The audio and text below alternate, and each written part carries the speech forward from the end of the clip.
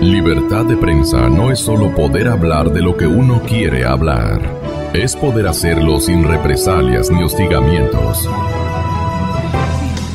Ustedes, ustedes nunca pensaron o discutieron entre, entre la camada de economistas, no había una discusión ideológica respecto de los modelos. ¿Por qué ustedes se alinearon en el modelo llamémosles eh, pragmáticos de, economía de derechizada, Mauricio, como para que usted le rinda cuentas a la ciudadanía ideológicamente, ¿qué representa usted?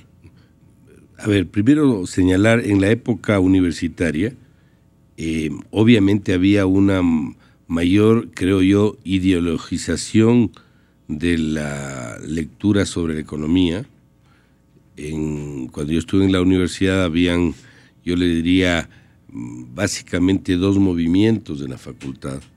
Un movimiento que no sé si sigue existiendo, que se llamaba Frente Cultural de Economía, que aquí estoy hablando de la Universidad Católica de Quito, donde había mucha tendencia de izquierda, y había eh, otro grupo en la época que se llamaba Alternativa Estudiantil, que era un grupo más de centro derecha, si podemos poner esos colores. Patricio Álvarez nos distingue con su compañía. Pero obviamente em, en ese momento em, teníamos que estudiar las distintas tendencias ideológicas. Yo A mí me tocó leer El Capital de Carlos Marx, por supuesto que lo leí. Em, me tocó leer la teoría general, pues. claro, la teoría general del interés, del dinero, los precios de, de John Maynard Keynes, que es un keynesiano que habla mucho de la intervención y el promotor del desarrollo a través del Estado. Eh, pero también me tocó leer Libertad de elegir de Milton Friedman. Entonces tuvimos toda esa gama de, opciones de pensamiento. Perdón, eh, solamente para ilustrar al público, especialmente joven, keynesiano es, por que es el, John Maynard presidente de, la República, abriga esa escuela de... Le citan bastante a Keynes. Pero Gonzalo, a lo largo de los años... Pero es estatista el presidente Correa. Sí, pero el discurso a veces no se acompaña con la práctica, porque en el caso del gobierno han dicho unas cosas y terminaron haciendo otras cosas. Entonces, Denos algunos eh, ejemplos, porque estamos para enseñar a la colectividad. No quiero desviarme de su pregunta, pero le voy a responder lo que me dice. Yo le hago acuerdo. Ya, uno eh, hablaba mal de los multilaterales, terminó acercándose a los multilaterales. Habló mal de la colocación de deuda en los mercados externos terminó emitiendo papeles en peores condiciones. Eh, empezó a hablar de los temas mal de los acuerdos de comercio. A los 10 años terminó firmando un acuerdo de comercio con Europa. Es decir, le puedo citar, la lista es larga. Habló mal de las privatizaciones, ahora le quiere vender hasta el panecillo porque no tiene plata. Entonces, obviamente, bajo un escenario de esa naturaleza, uno lo único que puede colegir es que una cosa es el discurso, otra cosa son los hechos. Yo más bien diría que esta administración se ha volcado mucho por el lado populista. Si algún rato es necesario arrimarse a los grupos de izquierda, pues lo va a hacer. Eh, algún rato necesita arrimarse a los grupos de derecha, lo va a hacer. Y en la conformación del gabinete también lo puede ver, porque usted no puede comparar la forma de ver el mundo por parte del grupo del Semplades con algunos asesores cercanos al presidente. Entonces, ahí no es que hay una conducción clara y eso es parte de los problemas también que hemos observado. Pero, esta ambivalencia de socialismo con capitalismo lo que le quería decir Lo que le quería Gonzalo decir es que eh, a lo largo de los años, obviamente en mi época universitaria, yo ya salí hace treinta y pico de años de la universidad, eh, se han ido de alguna manera eh, acercando las posiciones. Y en la actualidad los colores en manejo de política económica al menos en la mayoría de los países que les ha ido bien, no existe. Eh, yo, en lo personal, me considero una persona que es mucho más pragmática que ideológica en las decisiones. lo he dicho, por ejemplo, que cuando el Estado tiene que participar para promover una actividad, hay que hacerlo. El Estado está para ciertas cosas, el sector privado está para otras cosas. No creo que el Estado sea empresario creo que es un pésimo referente como empresario. Eh, aquí en este mismo gobierno hemos visto los resultados de ser o actuar mm. como empresario en la empresa farmacéutica que quebró, en los canales y en los medios de comunicación, entre muchos otros ejemplos. Entonces hay que darle el rol del Estado lo que le corresponde. El Estado está para regular, para controlar, para supervisar, para dedicarse a salud, a educación, a justicia, a seguridad. El rol del sector eh, privado es otro. El Estado no está para meterse en todo y tiene narices metidas en todo, en aviación, está metido en importadoras, está metido en farmacéuticas, está metido en florícolas, está metido en hotelería. Que me digan que no está el Estado. Entonces hay que separar. Y eso lo que hace es que en la parte práctica la política económica se vuelva incolora, pongámoslo así, y se deba y deba ser muy práctica. Y esto no es solamente un speech, una, un discurso personal, eso lo han dicho exmandatarios de la región de distintas orientaciones políticas. Aquí lo dijo varias veces Fernando Enrique Cardoso, expresidente del Brasil. Él fue un keynesiano, pongámoslo así en su momento. Después eh, se hizo mucho más, se hizo mucho más práctico, pongámoslo así, eh, cuando fue presidente del Brasil. Eh, Ricardo Lagos, un socialista chileno, dijo exactamente lo que le acabo de decir también, que no hay que darle mucho color a la política, sino que hay que hacer lo que se, tiene que hacer. El Ecuador requiere que el, sector privado actúe acá, pues tiene que hacerlo. Y el sector público, el gobierno o el Estado tiene que actuar acá, pues tiene que hacerlo. Esa división es parte de los problemas que tenemos aquí, que no existe. Y por esa razón tenemos una participación excesiva y la nariz del Estado en lo que debe y en lo que no debe estar presente. Entonces, esos son parte de los problemas, inclusive hasta del orden económico desde el orden fiscal y desde el orden presupuestario que ha hecho que el Estado eh, cobre un tamaño absolutamente excesivo, una obesidad que ahora nos toca manejar y administrar el momento en que estemos en funciones públicas. Díganos su punto de vista desde el lado empresarial. ¿Qué han sido estos 10 años para ustedes y de qué se siente seguro podría estar ocurriendo eh, eh, este cuatrenio que viene? Qué cambios se podrían introducir con el apoyo social, naturalmente. Bueno, buenos días y perdón un poco el retraso, me, dijeron a mí a las siete y cuarto, por eso llegué hasta ahora. No, no, tranquilo. Eh, el gobierno y la política del, presidente eh, está enfocada un poco a repartir la riqueza. O sea, la mentalidad es, la idea es repartir la riqueza entre los que más tienen al resto de la población. En, función de eso eh, se está pensando en esta ley de, plusvalía, en esta ley de herencia eh, y la cantidad de, impuestos y, todo el, ese aparato de, impositivo que tenemos. Realmente eh, la mejor manera de repartir la riqueza es por la vía, la vía impositiva, obviamente, y creo que nosotros como país estamos ya con, con una cantidad de impuestos suficientes como para que la, riqueza de los que más tienen se vaya repartiendo en el transcurso del tiempo y dentro de las actividades económicas que vamos realizando. Si usted me pregunta qué ha pasado en estos 10 años, eh, pues es interesante ver que en los primeros años del gobierno la construcción tuvo un auge muy importante. Eh, eh, por muchos aspectos. De este gobierno. De este gobierno. De este gobierno hubo un crecimiento muy interesante en la construcción, incluso llegó a ser, eh, a incrementarse en 10, en el más del 10% del Producto Interno Bruto. Y me dijo más del 20%. 10%. Ah, el, presidente. Bueno, es de los datos que yo, tengo. O sea, ocupó la construcción un 20% del PIB. Y hubo un crecimiento del 10%. Ah, ya. En, la construcción. Eh, pero resulta que desde hace dos años, año y medio, eh, ahora tenemos un decrecimiento del 10%. Sí. Y claro, eh, es la crisis económica, es todo, pero yo, yo creo que lo, más, lo que más afecta, lo que más ha afectado en nuestro sector es la incertidumbre.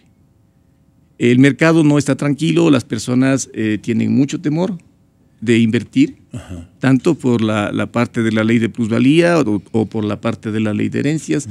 Y cuando una economía eh, está nerviosa, pues se congela. Y cuando se congela, eh, nadie, nadie mueve el capital y eso va todo, todo para abajo. El presidente nos ha demostrado sobresaltos ideológicos, porque a veces se, se, ha, se ha inspirado en el pragmatismo, casi casi en la derecha, en la forma de ver las cosas de apoyar a los segmentos productivos y habla mucho y cree en ellos.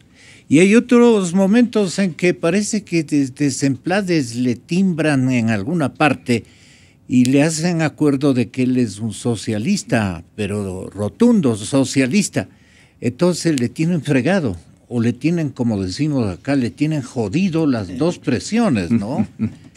Eh, ¿Ustedes no creen que fuera de broma eso es lo que le ha pasado al correísmo ideológicamente? Bueno, sí, ¿no? podría, podría lo que usted dice podría ser la, explicación de por qué existen estos, estos cambios tan bruscos en, la, en, la, toma de decisiones y en, incluso en los tipos de, leyes que se envían y, los proyectos que se hacen. Si yo veo que el país reclama por, por una ley de plusvalía, algo que va a afectar y que está afectando directamente a una actividad que es una de las principales, pues hago algo para no, no, no, afectarlo no, o no, no enviar esa ley, cambiarla. Porque eh, incluso si nos ponemos a analizar ya la, parte de la, de la plusvalía, ya está. Recién salió la ley de la gestión del suelo, que es una ley nacional en la que autoriza a, los GADS, a los, a los municipios, a hacer los cobros por los suelos creados en las, en las tierras que pasan de rurales a urbanas. Entonces, ya tenemos nosotros ese tipo de, repartición, digamos, de la, de la, riqueza, como decía eh, el general Paco Moncayo ayer. O sea, eh, si un, suelo que vale dos dólares pasa a ser 50 dólares, pero ya existe una ley para eso. Y es una ley que se promulgó en el año 2015. Y los municipios están ya eh, buscando las tasas para para cobrar ese, ese uso de, o ese cambio de uso o ese uso de suelo creado de, de, rural a urbano. O sea, eso, eso, ya existe. No hace falta poner otra ley para eso, o sea, sería el doble. digamos, la culpabilidad que han tenido en esta década ellos mismos de haber eh, proliferado este, esto que ahora viene a ser elementos que va a solucionar Lenin. Y eh, medio inconexo con la, con, la realidad, pues no. Eh, ¿O es un asunto de la señora María Fernanda Espinosa. No, yo me imagino que es una propuesta de, del, buró. Del buró de, de, Lenny Moreno. Eh, bueno, digamos, son ofertas de campaña, son iniciativas que, que se presentan al, electorado, como la iniciativa de, y la propuesta de, Guillermo Lazo de crear 250 mil empleos al año.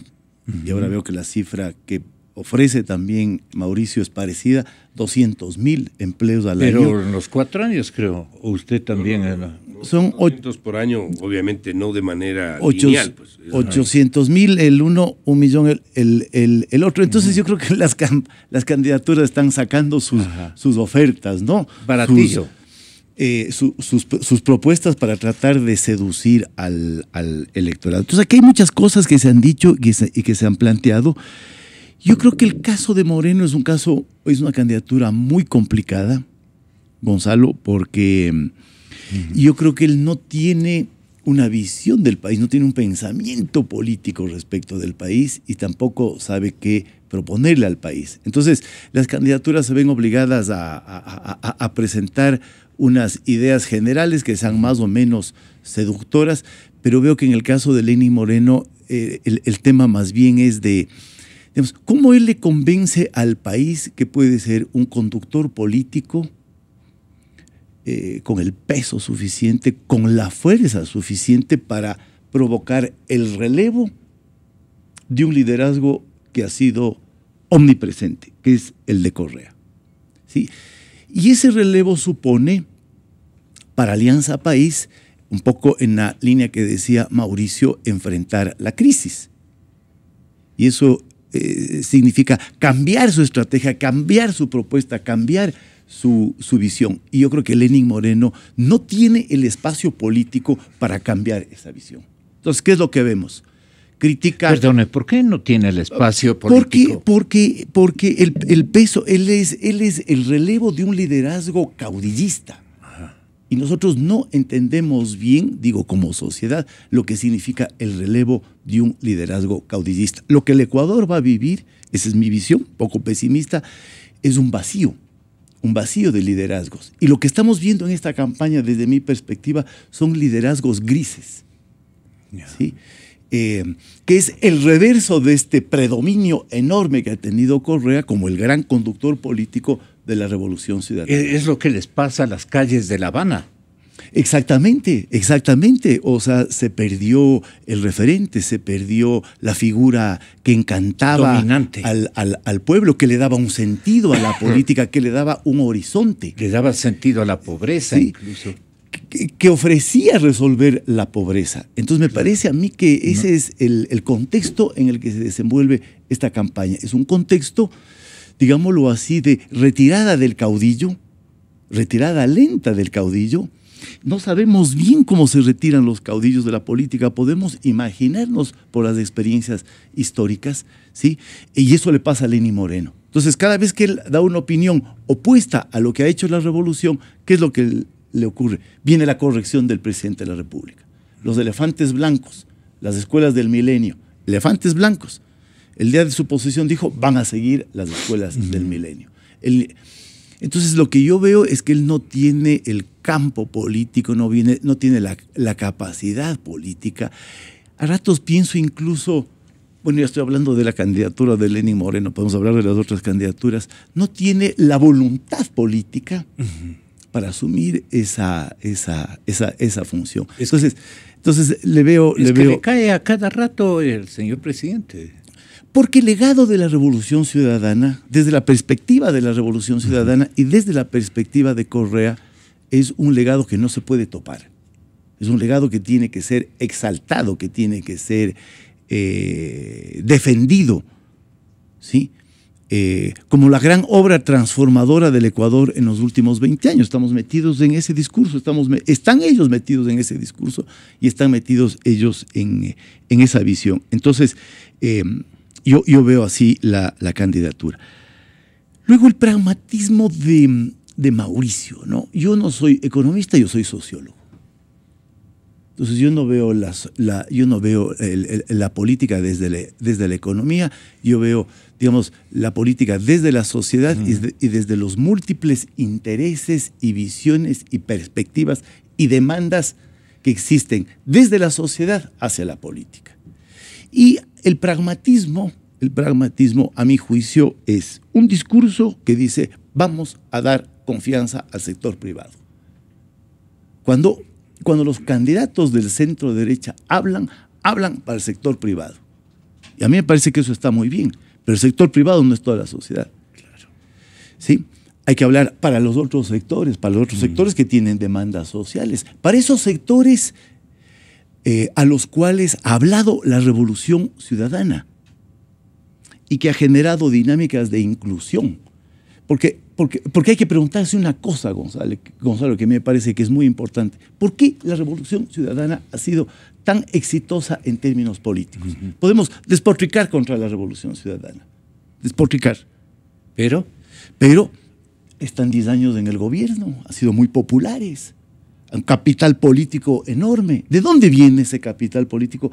¿Qué hicieron bien para que tengan ese capital político? ¿Sí? Yo creo que eso la derecha tiene que pensar para no empezar a dar bandazos aquí. ¿No es cierto? Que pasamos del estatismo ahora a, una economía neoliberal de mercado en donde no. buscar unos equilibrios, buscar unos equilibrios. Entonces, este discurso... ¿Ahí no está mejor Paco Moncayo? Eh, digamos, eh, eh, quizá en su visión, ¿no? Quizá en su visión él tiene otros problemas, otros problemas. La debilidad de, de las estructuras organizativas que están detrás de esa candidatura, la fuerza de vitalidad política, me parece a mí, ¿no? Eh, y, en cambio Guillermo Lazo se enamoró del 18, no pasa del 18. bueno, las cifras también hay que verlas con mucho cuidado, ¿no? Con mucho cuidado. Yo creo que hay una guerra de cifras, las encuestadoras están, están lanzadas a la estrategia electoral para digamos, generar otras, otras, otras expectativas ¿no? y alinear un poco eh, las candidaturas desde los intereses que esas encuestadoras eh, pueden, pueden tener. Entonces me parece... ¿Y, cómo, cómo la gente, eh, digamos, va a coger estas tres con la de Dalo y, y, Ramiro podría ser una cuarta opción también? no, no, puede, pueden ocurrir cosas sorpresivas, en fin. Pero esta similitud, casi los tres candidatos parecen del trío Los Panchos, ¿no? el, general, eh, Cintia, primera voz, y, el otro, la primera guitarra, pues no, don Guillermo Lazo. Entonces, eh, eh, el, candidato de, el candidato oficialista de la, de la idea populista, como tú le llamas, de la visión populista y de la visión socialista populista, eh, está tranquilo en, esa posición porque va a ser heredero de algunas fortalezas y va a ser, puro cuento, un reformador de, los equívocos del mandatario Correa o algo por el estilo. Pero Correa ha dedicado tiempo en las sabatinas para decir que poner distancia con su gobierno es un error, pues, es, un error, le dice, ¿no? Y, desecha que Lenín Moreno tuviera que seguir el ejemplo argentino, no convertirse en un Scioli o convertirse en un Scioli. ¿Qué le aconsejarías desde el lado retórico, mi querido Felipe? Yo no le aconsejo nada, yo no soy consejero de, de, Lenin Moreno. Yo veo las cosas, eh, mi perspectiva de, la candidatura de Lenin Moreno es esa. Ya. Es esa. muy bien dicha, muy bien contada. Es, muy, muy complicado. Me parece además que esa candidatura enfrenta otro problema. ¿Cuál es? Y es la heterogeneidad de Alianza País. O sea, hemos sabido desde el comienzo que Alianza País es un movimiento, lo que decía también un poco Mauricio, ¿no? Con visiones muy distintas, con intereses muy distintos, con perspectivas muy distintas. Y el elemento cohesionador de esas facciones dentro de Alianza País fue Correa, ¿no? Porque Correa era el, el líder que tenía el poder, el poder estaba en Correa. Y él eh, cohesionaba esos intereses distintos, él lograba procesar esos intereses distintos y le ha permitido a Alianza País mantener una cierta unidad, que es una cosa muy interesante que ha ocurrido en los últimos años, a pesar de las diferencias. Entonces, ¿qué es lo que vemos ahora? Vemos ahora un nuevo reparto del poder dentro de Alianza País. Se están repartiendo el poder. El poder ya no está solo en Correa, ya no es del dirimente, ¿no? Que hay otros actores que se reparten el poder. El señor Moreno, el señor Glass y el señor Correa. Em, entonces vamos a ver si es que esos repartos dejan contentos a todos. Y eso vamos a ver en las elecciones y en las candidaturas.